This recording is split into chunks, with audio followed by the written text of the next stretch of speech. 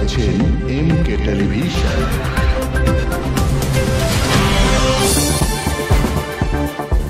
আসসালামু আলাইকুম।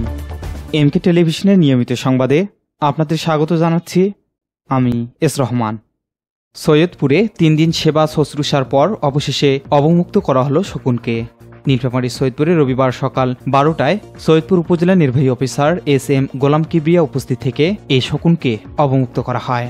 এ সময় উপস্থিত ছিলেন সৈয়দপুর উপজেলা চেয়ারম্যান মকসিদুল মুমিন, সৈয়দপুর সামাজিক বনায়ন নার্সারি ও প্রশিক্ষণ কেন্দ্রের ভারপ্রাপ্ত কর্মকর্তা নাজমুল হাসান, বন বিভাগের শরীফুল, রতন, পাখি ও পরিবেশ সুরক্ষায় কাজ করা স্বেচ্ছাসেবী সংগঠন সেতুবন্ধনের প্রতিষ্ঠাতা আলমগীর হোসেন, সাধারণ সম্পাদক মাসুম বিল্লা, সহসভাপতি খুরশেদা জামান কাকন যুগ্ম সাধারণ সম্পাদক আহসান হাবিব জনি, সাংগঠনিক সম্পাদক নওশাদ আনসারী, অর্থ সম্পাদক মামুন শাখওয়াত, বন পরিবেশ বিষয়ক সম্পাদক মোরসালিন, তথ্য ও যোগাযোগ বিষয়ক সম্পাদক রাকিব হাসান, কার্যকরী সদস্য রফিক ইউএস সোহেল সোহেল রানা, আসাদুজ্জামান, সুলতান সহ আরও অনেকে। সামাজিক বান বিভাগ সৈয়দপুর ও উপজেলা প্রশাসন ও সেতুবন্ধন যুব উন্নয়ন সংস্থার নেতৃত্বে দুই পাঁচ দুই সালে আমরা নীলফামারী সদর থেকে একটি শকুন পাখি উদ্ধার করেছি। সেটা আমাদের নিবিড় পরিচর্যার মাধ্যমে আমরা আজকে অবমুক্ত করলাম।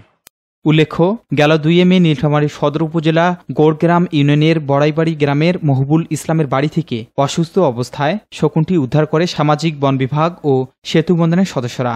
তার আগে গেল তেইশে এপ্রিল সিংড়া ফরেস্ট থেকে বন বিভাগ ও পরিবেশ প্রকৃতি বিষয়ক সংস্থা international union for conservation of ন্যাচারের উদ্যোগে ষাটটি শকুন পরিচর্যার মাধ্যমে অবমুক্ত করা হয়। তার মধ্যে এটি একটি, যার টোকেন নম্বর এ চার।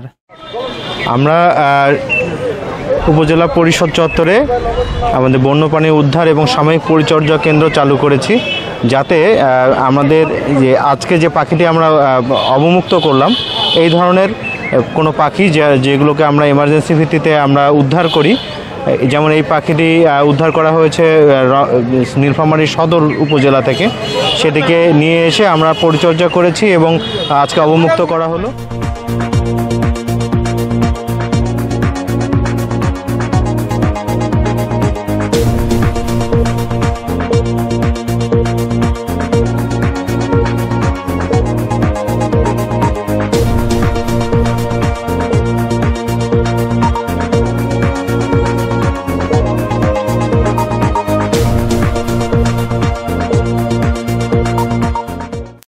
পরবর্তী সংবাদ দেখার আমন্ত্রণ জানাচ্ছি এস রহমান এমকে টেলিভিশন।